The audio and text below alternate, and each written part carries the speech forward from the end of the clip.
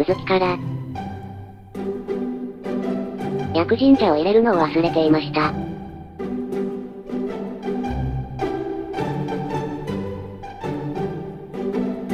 下山後なので、気持ちよくお外でお弁当食べたいのよ。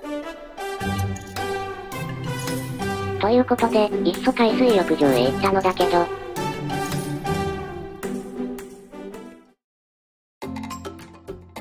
風がめっちゃ強いのよ。涼しい通り越して、寒いのよ。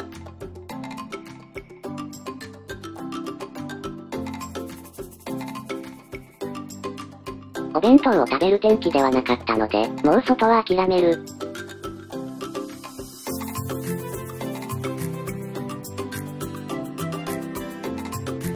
浜はしらすなだし、広いね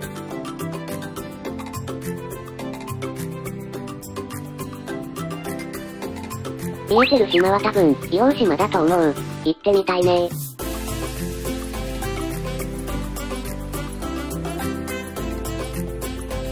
今回、鳥蔵助手席なので、ちょこっとドライブモード。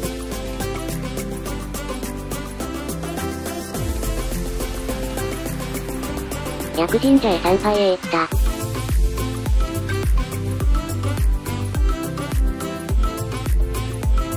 結局お弁当は、車の中でいただいた。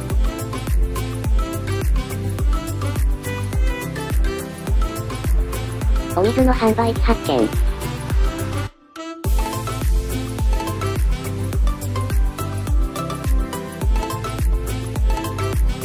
お弁当も食べたので満足です。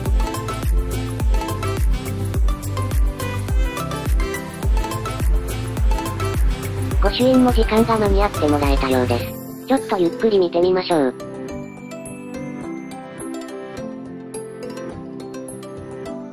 上手はお休み。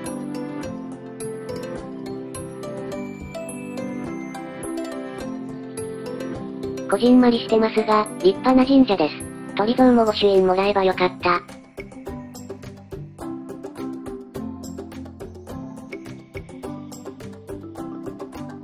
枕城陽岩の前に、屋久島大社へ寄ったんですが、動画がありません。屋久島大社も立派だったので、動画を収めておけばよかった。後悔しても遅いので、枕城陽岩へ行きます。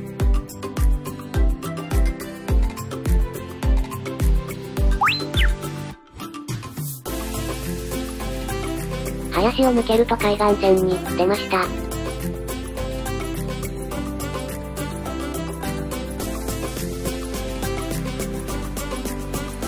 どうやらここは釣りポイントらしい。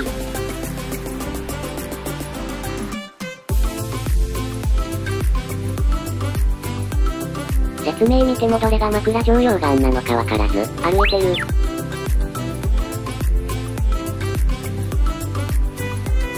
大きな潮だまりを発見したけれども、魚は発見できず。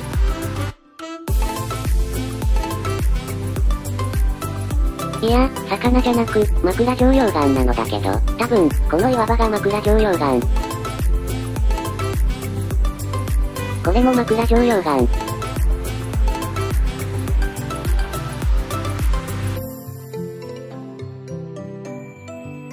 きっと、立派な枕状溶岩があるのかもしれないが、知らないというのはもったいない。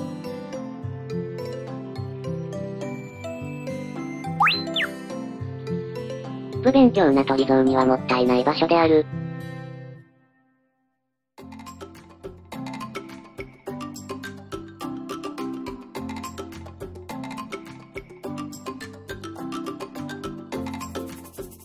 こういう場所は日の出が綺麗だと思う。山見えるな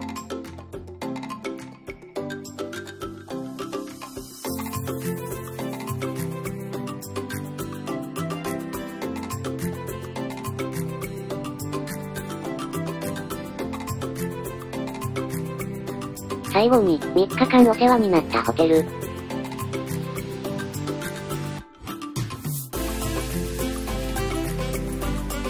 毎回泊まったホテルの近辺を散策できないので、今回してみます。今回宿泊の宿です。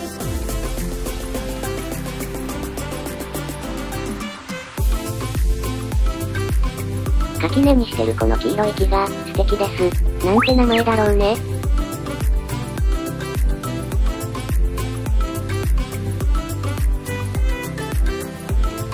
鬼は広いよね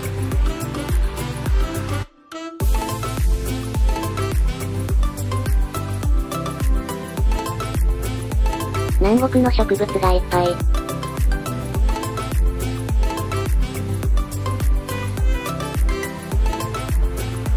ここのホテルは部屋からも食堂からも、海が見えました。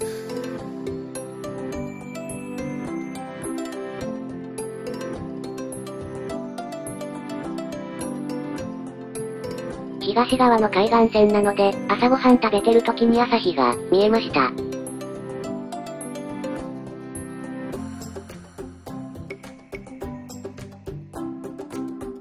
夕方なのでライトついてますが、天気が良かったら綺麗でしょうね。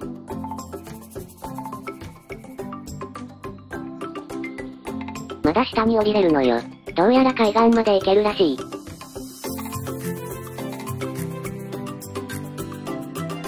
これにて屋久島は最後です。次は種子島へ移動します。